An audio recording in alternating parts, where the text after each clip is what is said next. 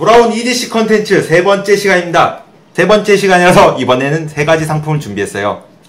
사실은 원래 블랙폭스 포켓 나이프 하나로만 진행할 예정이었는데 하나로만 진행하면은 진짜 한 30초면 끝나겠다 싶더라고요. 그래가지고 제가 사용하던 제품인 511의 DRT 폴더 나이프 레더맨 사이드킥 이번 리뷰를 위해서 새로 구매한 구매했습니다. 이거 절대로 고객님한테 나가지 않아요. 구매한 블랙폭스 포켓 나이프 이렇게 세 가지 상품을 비교 리뷰할 예정입니다. 이번 편에 병맛은 없습니다. 진지하게 리뷰할 거예요. 편의상 이제 앞으로 511 레더맨 그리고 블랙폭스 이렇게 통칭하겠습니다. 자 소재를 비교해 보면은 511은 AUS8 일본산 스테인리스 스틸인데요. 예전에 뭐 콜드 스틸, SRK에도 쓰이고 여러 가지 좀 중급형 나이프에 많이 쓰였던 그러한 스테인리스 소재입니다. 레더맨은 420 스테인리스 스틸인데요. 420이 좀 440보다 좀 무르다는 얘기도 있는데 저는 솔직히 잘 모르겠습니다. 잘 쓰고 있어요. 블랙폭스는 여기도 써져 있다시피 440 스테인리스 스틸이에요. 420이랑 뭐 거의 비슷하고 제가 리뷰를 위해서 조금 사용해 보긴 했는데 아직 잘 모르겠어요. 셋 다 큰 차이는 없습니다. 스테인리스 스틸 계열이기 때문에 날에 녹이 잘 안 슬고 그리고 sharpening이 좀 잘 나간다는 단점이 있긴 한데 일단 관리가 되게 편합니다. 날 길이는 레더맨이 압도적으로 길죠. 왜냐면은 레더맨은 그냥 법적으로 이게 나이프가 아니에요. multi-tool 여러 가지 기능이 있는 거기 때문에 날 길이의 제약을 받지 않습니다. 비슷한 논리로 레더맨 외에도 다른 multi-tool들은 날 길이의 제약을 받지 않기 때문에 날 길이가 상당히 긴 편입니다. 블랙폭스는 저희 도검 소지증 없이 구매할 수 있는 folding 나이프 중에 제일 긴 5.9cm입니다. 511은 겉보기에는 어? 얘가 더 큰 게 아닌가? 싶은데 블랙폭스보다 훨씬 더 짧습니다. 이렇게 대보면은 날이 시작되는 길이가 확연히 차이가 나죠? 무게는 거의 이 순서대로라고 보시면 됩니다. 제조사 스펙으로 레더맨이 198.4g 그리고 511이 96.4g 블랙폭스가 45g으로 되어 있는데요. 제조사 스펙을 믿기에는 저희가 의심이 너무 많습니다. 그래서 저희가 저울을 준비했습니다. 레더맨을 먼저 올려볼게요. 레더맨은 제조사 스펙이 198.4g입니다. 190g으로 나와 있어요. 191g, 190g. 511 DRT 폴더는 96.4g이에요. 해보겠습니다. 94g. 블랙폭스는 제조사 스펙이 45g인데요. 한번 재보겠습니다. 46g. 뭐 1g 오차긴 한데 이 정도라면 양호한 오차라고 봅니다. lock 방식은 레더맨과 511은 liner lock이에요. lock 역할을 하는 liner가 들어있어가지고 lock을 잡아줍니다. 블랙폭스는 frame lock이라고 해가지고 몸체의 일부분이 lock 역할을 합니다. frame lock이 liner lock보다 좀 더 lock이 강력하긴 한데요. 이게 블랙폭스 포켓 나이프 같이 좀 가벼운 애들한테는 frame lock이 좀 과한 게 아닌가 싶습니다. 왜냐면은 이 one-hand folding이랑 closing을 할 때 frame lock이 좀 세가지고 열고 닫는데 살짝 불편한 감이 있어요. 이 정도 체급의 frame lock은 좀 과한 게 아닌가 싶습니다. 이 정도 체급에는 liner lock이 제일 낫습니다. liner lock 이렇게 쉽게 펴고 닫을 수 있습니다. 지금 제가 장갑을 껴서 그런데요. 맨손으로 하면 진짜 금방 닫습니다. 거짓말 아니에요. 레더맨 역시 liner lock 방식으로 금방 열고 닫을 수 있습니다. 저는 개인적으로 써본 multi-tool 중에 이 레더맨 사이드킥이 제일 열고 닫는 감이 제일 좋았어요. 왜냐면은 뭐 다른 multi-tool은 이렇게 thumb hole이 있진 않거든요. 거의 다 손톱을 이용해서 열고 닫는 방식이라 가지고요. 열려면 막 이렇게 손톱으로 열고 닫아야 되는데 레더맨 같은 경우에는 이렇게 써머리 있어가지고 엄지손가락 살짝 누르면서 이렇게 펴면은 잘 펴집니다. 닫을 때도 잘 닫히고요. 휴대성은 이 순서대로 뭐라고 보시면 됩니다. 레더맨이 제일 꽝이고요. 511 평범합니다. 그리고 블랙폭스 제일 휴대하기 편리합니다. 레더맨은 일단 무게도 무게고 굉장히 두꺼워요. 멀티툴이다 보니까 굉장히 두껍습니다. 그래서 바지 걸었을 때 좀 걸리는 느낌이 있어요. 그리고 511은 딱 두꺼운 날 하나만 있는 일반적인 폴딩 나이프입니다. 블랙폭스는 얇고 가볍습니다. 대신에 한 가지 단점이 있다면 이 클립이 체급에 비해서 굉장히 큰 감이 있어요. 왜냐면 레더맨 이렇게 큰데도 클립이 쬐끄맣고 오일도 쬐끄만데요. 이 둘이 클립이 조그맣다고 해가지고 뭐 휴대에 불편한 점은 전혀 없습니다. 근데 이 플랫폭스는 체급에 비해서 클립이 좀 크다 보니까 어디 돌아다닐 때 살짝 걸릴 때도 있어요. 지금 여기 살짝 벌어져 있는 거 보이시나요?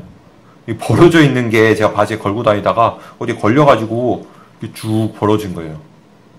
그래서 이 점은 좀 과하지 않았나 싶습니다. 뭐 frame lock도 그렇고 이 클립도 그렇고 셋 다 tip-down carry 방식이라고 해가지고 클립의 끝 부분과 나이프의 날 끝이 일치하는 방식입니다.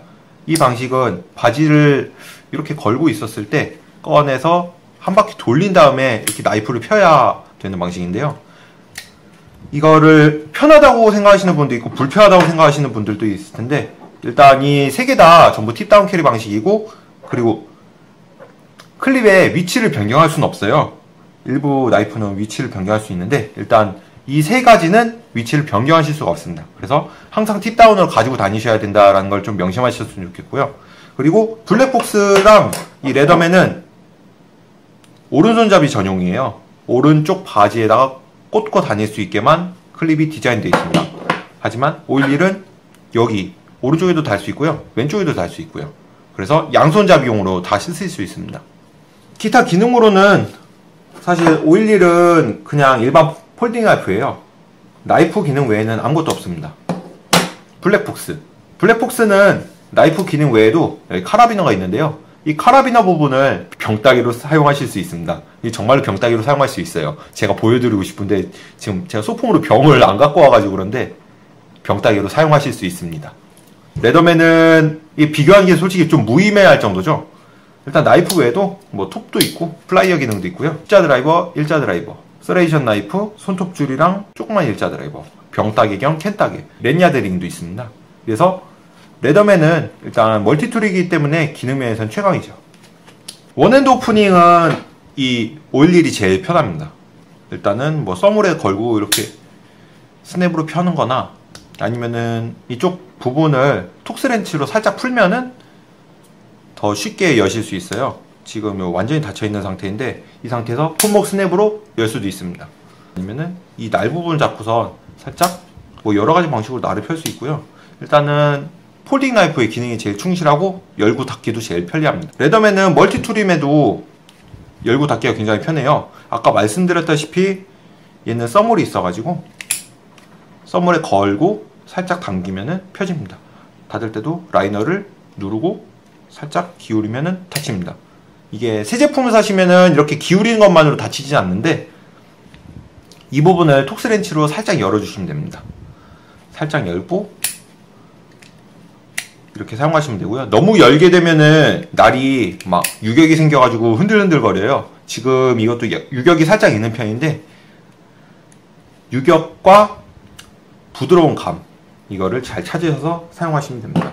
블랙폭스는 아까 말씀드린 대로 frame lock 방식이라서 열고 닫는데 살짝 좀 뻑뻑한 감이 있어요.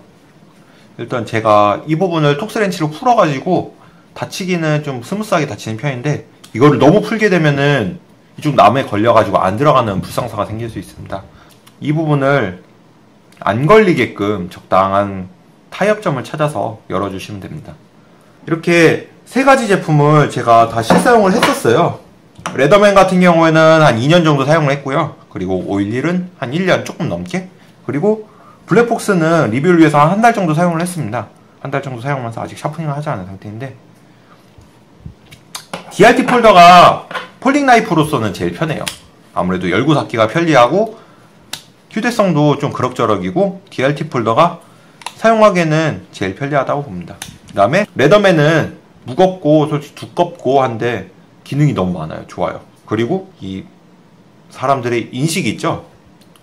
막, 아, 막 이런 칼 들고 다니면 어머 칼이야 극혐 이런데 Leatherman 같은 경우에는 이렇게 막 플라이어도 있고 하다 보니까 공구 느낌이 강해서 그렇게 혐오감을 주진 않아요. 그래서 막 사람들 시선으로부터는 좀 자유로운 편입니다.